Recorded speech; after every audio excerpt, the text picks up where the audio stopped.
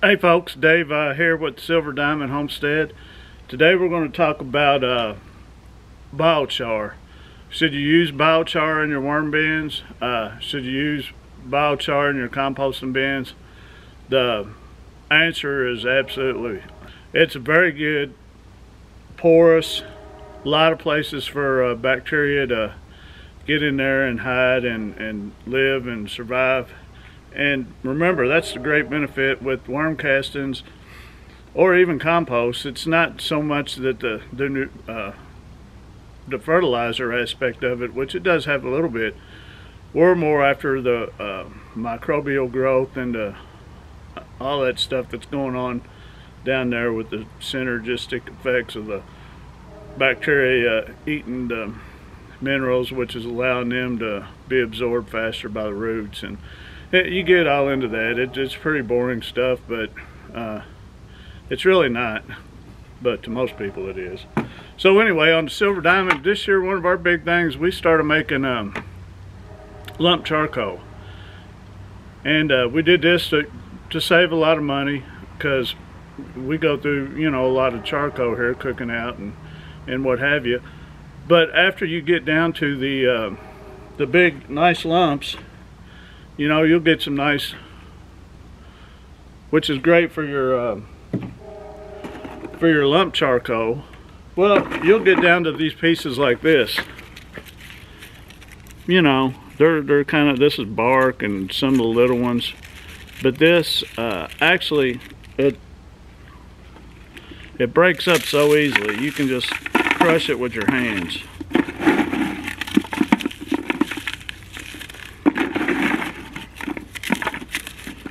And if you can't you know it's it's use it in your uh, cooking.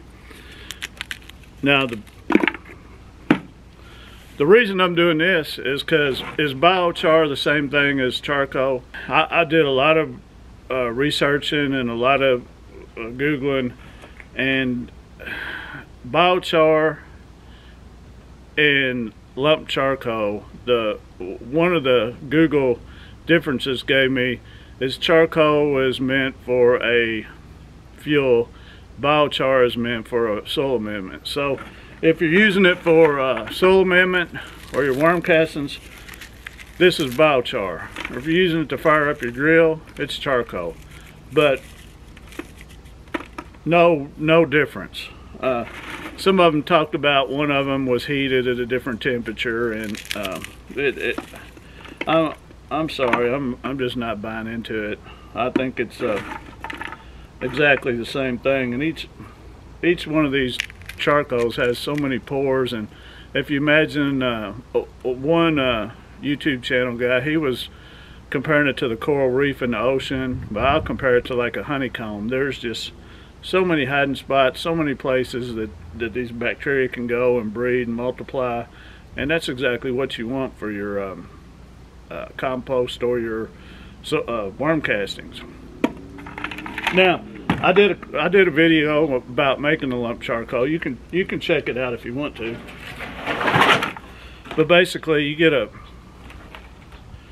it's a real simple, real cheap uh, setup. You get a drum about this size that'll fit down in a 55 gallon drum.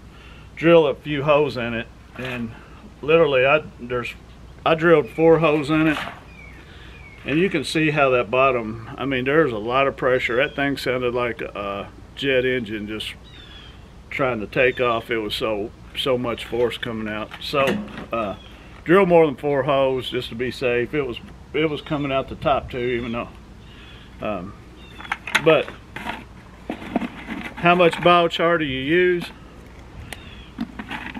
I'm gonna put about a half a pound in each one of my bins and just see how that uh, that works out. But just remember, one man's trash is another man's treasure. So if you're uh, looking for biochar and you're making your own lump charcoal, this fine stuff, and you can break it down, smash it up with a hammer or whatever. But most of it you can just squeeze and it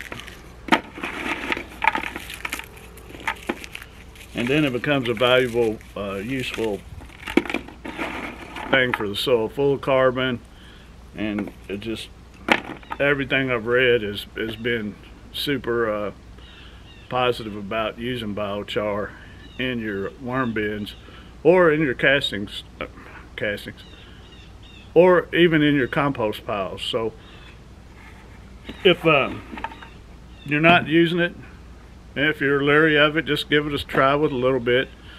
But this is exactly what the bacteria and those microorganisms need to uh, to thrive. Lump charcoal, even if you go buy it, most of your cheaper uh, brands of the lump charcoal are filled with kind of junk pieces like this anyway. So just a quick video on the biochar and if you're uh, not using it, give it a try. And if you are using it, uh, give me some feedback because I'm about ready to go dump a bunch in my worm bins. Thanks a lot, guys, and have a great day.